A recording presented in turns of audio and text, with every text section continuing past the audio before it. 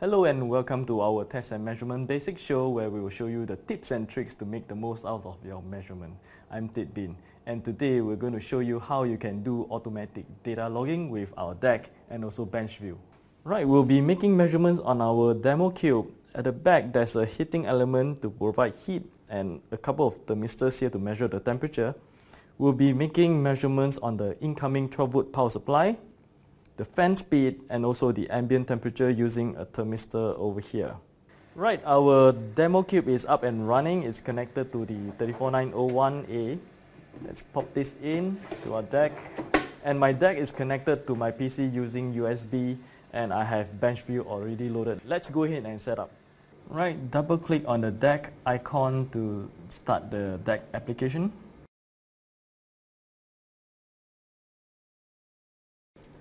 Alright, select slot 1 and select scan module. We'll go ahead and configure these slots for measurement.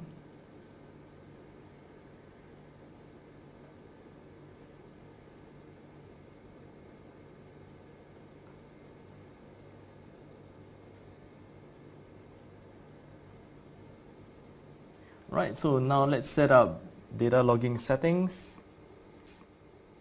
We'll select immediately start with start button. Uh, we can select various scan interval but in this case we want the minimum, the fastest and I'll stop data logging after 50 scans. With BenchVue, you can show your data in a chart. Go to graphical setup. There are many charts you can select from and we'll select strip chart for example. And let's go ahead and assign the colors to each of our channel.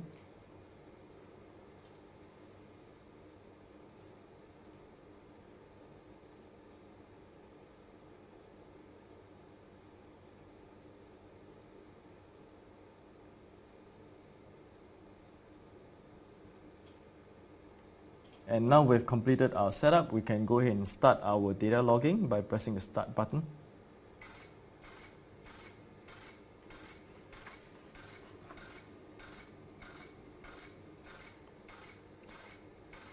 And now you can sit back and relax.